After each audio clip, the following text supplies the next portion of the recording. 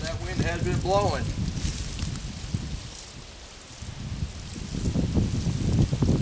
So as it gets cold tonight, adding a little extra water, I'll just protect it that much more.